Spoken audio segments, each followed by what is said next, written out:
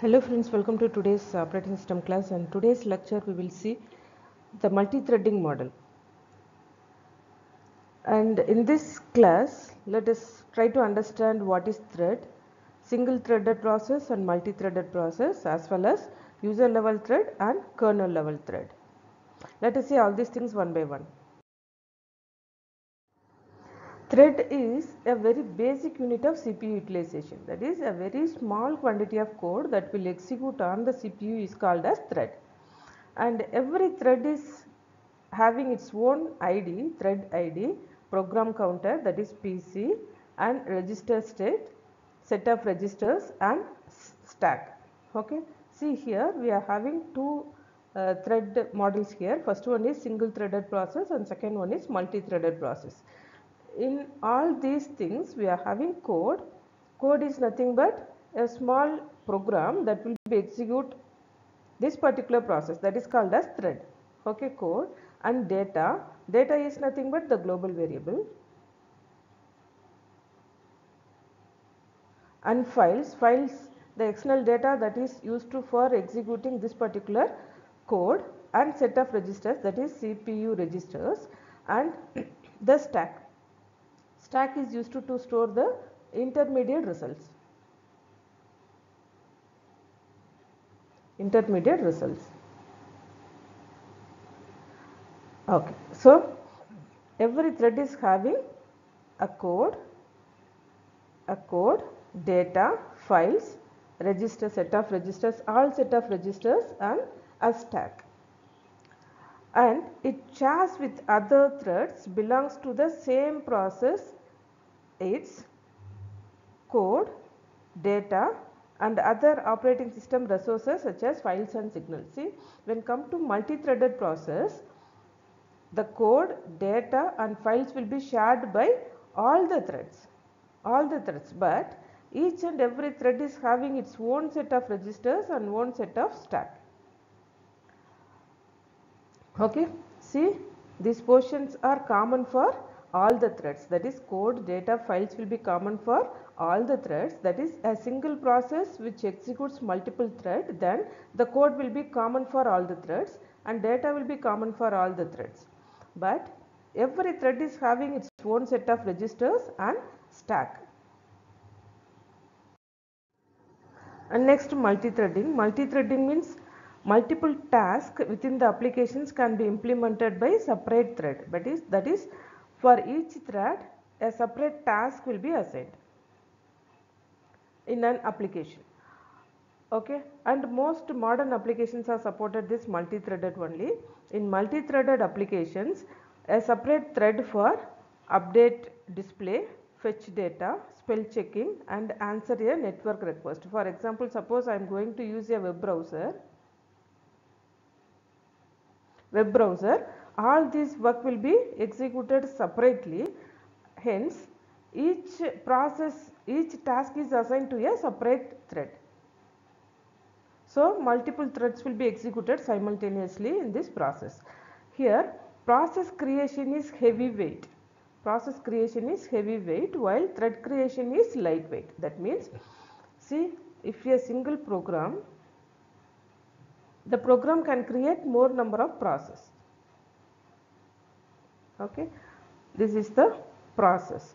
And in, in a single process we can have more number of threads.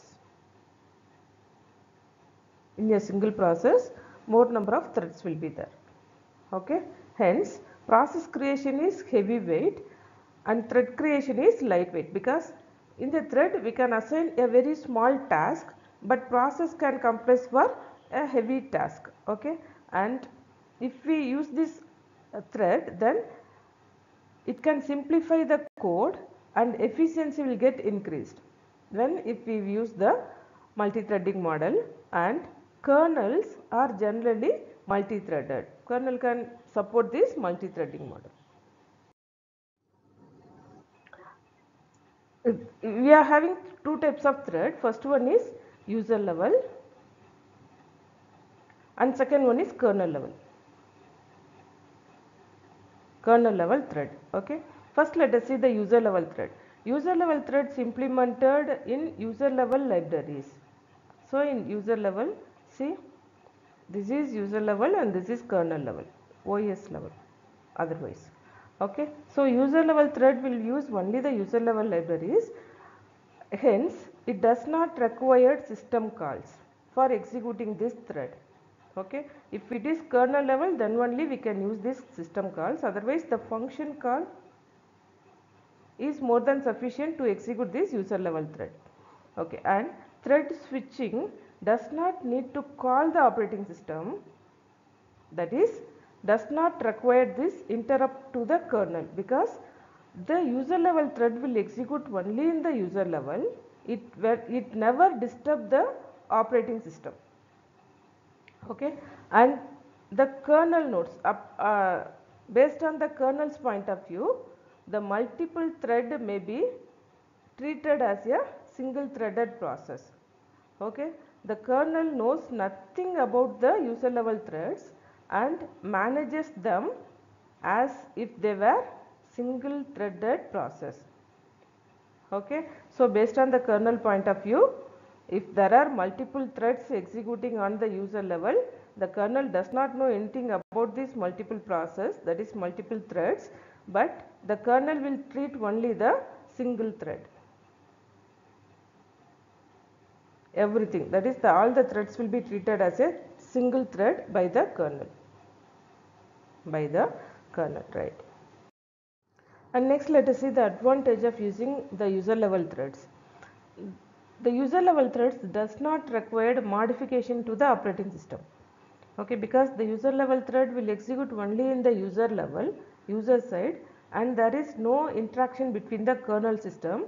Hence it does not require any modification to the operating system.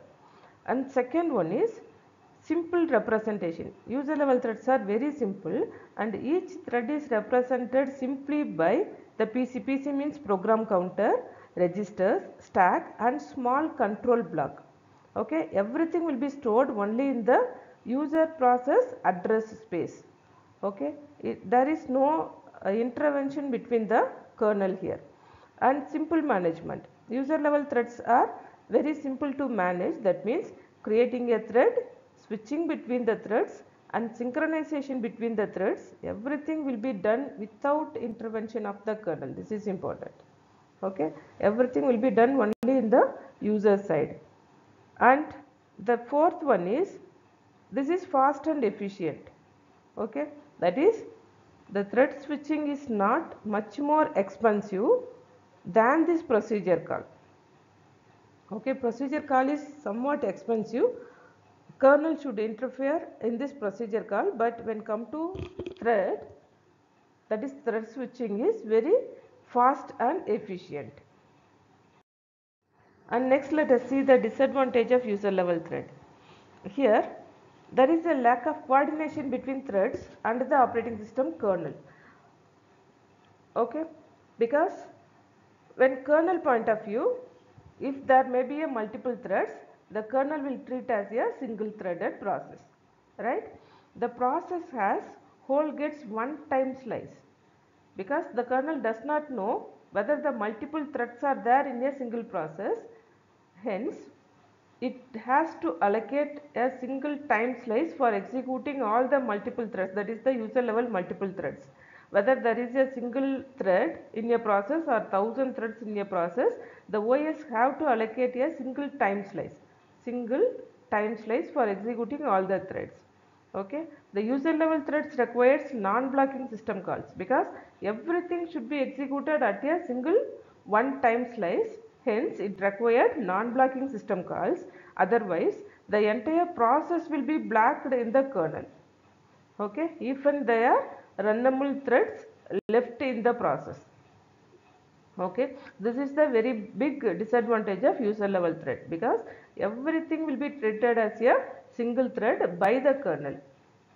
Kernel does not know anything about the multiple thread available in the user level process right? The next one is kernel level threads. The kernel level threads are created and managed by the kernel system by the kernel. Here no runtime system is needed and the kernel is having its own thread table to keep track of all the threads in the system and the kernel is also having the process table to keep track of all the processes also. Okay so the kernel is going to maintain two different tables. First one is thread table and the process table. And operating system kernel provides a system call a separate system call for creating the threads managing the threads also. Okay so the thread will be created and managed by the system calls not in the user level functions. The advantage of kernel level thread. Here the kernel is having full knowledge about all the threads that is all the kernel level threads. Then the scheduler which is available in the kernel that will decide how much time should be given to the process which is having large number of threads and which is having small number of threads that means the large number of threads the process which is having large number of threads will get more time to execute and the process which is having small number of threads will get less time. Okay? And the kernel level threads are especially good for the applications that frequently blocked because all the threads are well known to this kernel. This is the advantage of kernel level threads and next let us see the disadvantage of kernel level threads. Here the kernel level threads are slow and inefficient.